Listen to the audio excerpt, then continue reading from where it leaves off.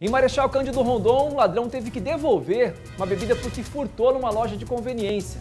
E ele foi perseguido pelo dono do estabelecimento. Roberta, que coisa, hein? Quis comprar ali uma bebida para poder ficar de boa em casa, mas não quis pagar. Aí não pode.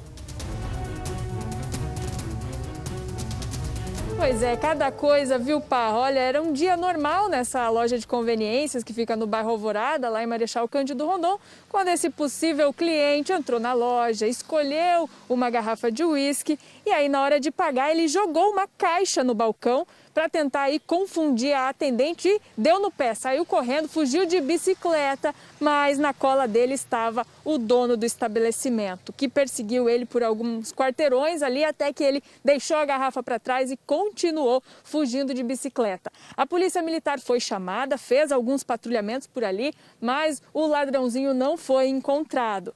Parra, e não foi qualquer uísque, viu? Foi uísque caro, de qualidade. Se ele pelo menos tivesse furtado ali um alimento por necessidade, a gente até entenderia. Mas bebida não dá para defender mesmo, né, Parra?